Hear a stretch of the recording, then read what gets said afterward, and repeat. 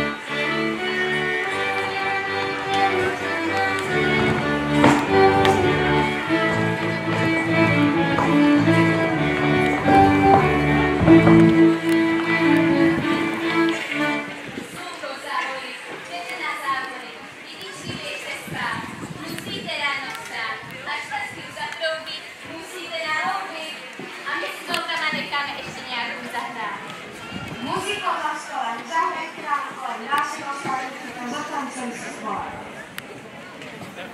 smile.